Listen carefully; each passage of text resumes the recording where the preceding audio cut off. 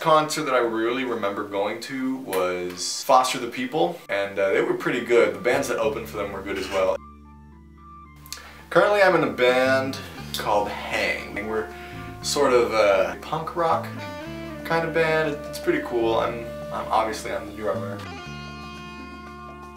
I've been playing drums since the fifth grade. Uh, I didn't really join band until my freshman year of high school. So like before then I was just sort of like a casual drummer, but high school is when it started to be like a serious thing, when I really considered myself a drummer.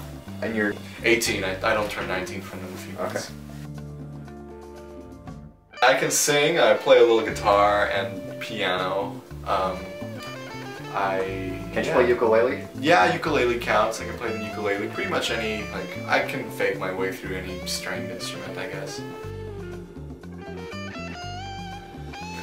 I don't want to say mainstream music is bad, but I think too much of it can be really harmful in a way. I don't know. Mainstream music is, is okay, but one should really, like, broaden their, their music tastes. I think local and underground music holds a lot of different styles and flavors that you may not really encounter in, in mainstream music or what you normally listen to. So local and underground music is, is they're really cool, really cool bands that have a lot of uh, a lot of elements that are not really present in what is mainstream and that's why you should listen to it just to get a different feel of what's, what's really out there. Guitar's a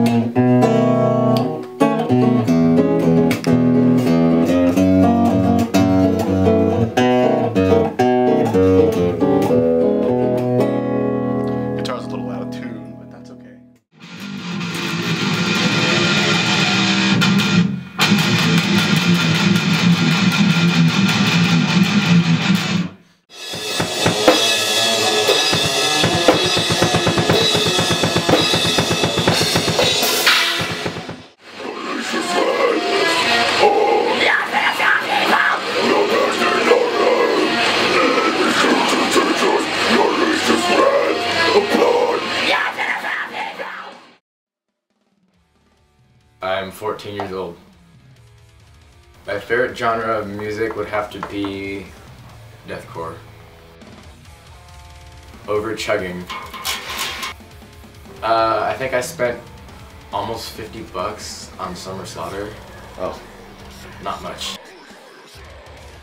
Um, so the last concert I saw was Carnifex, I Declare War, and Lorna Shore.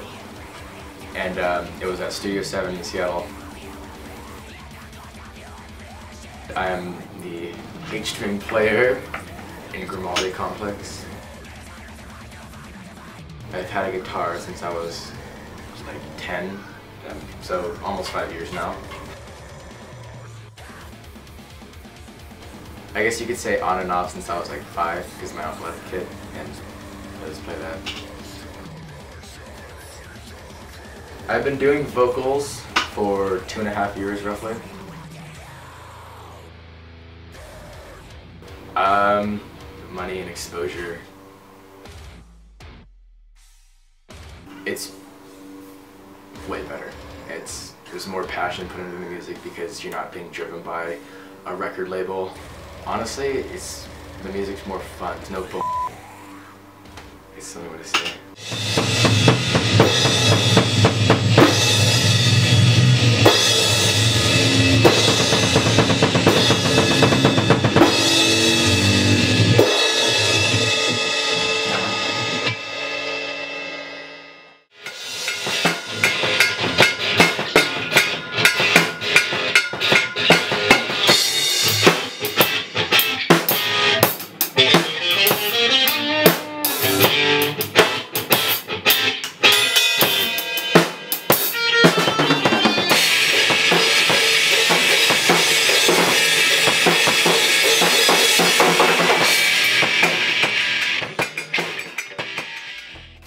it. One, two, three. Gypsy, Gypsy Temple. Temple. 16. 15. Uh, jazz slash fusion. alternative rock, and hard rock.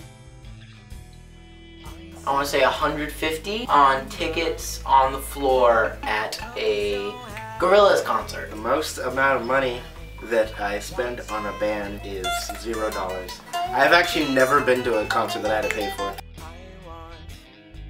Okay, my um, dream drum set is a set with three high toms, two low toms, of course a hi hat, as many cymbals as possible. Like put put them in the stand with with the audience. put them in the audience.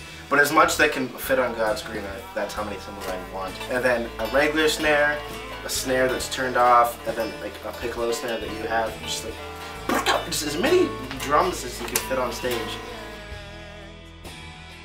I use Ernie Ball Cobalts 10s. I like it a lot because it gives me that sustain that I really like, especially switching sounds. It really helps if you can always have something nice to come back to, and strings really support that.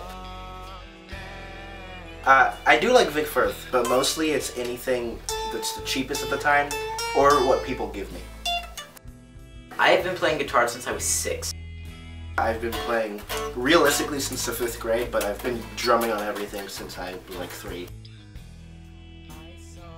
Well, a lot of the, the music that's, I guess, not underground, the mainstream stuff, is very repetitive. When you add like a huge amount of business and money to music, it, it loses its its feeling. Organicness. It- exactly. It's just once you bring it back to a lower level, where it's really just pure and raw, then you get back to the human part of it. My side of it is we all try to tell stories, and I really feel like underground music does that. I'm not hating on these bigger corporations that are working with artists because you know, good for them, they're making money. There's always going to have to be that business element, but everybody can always control how organic it is, and when you can do that, you can really make great music, and underground is where it starts.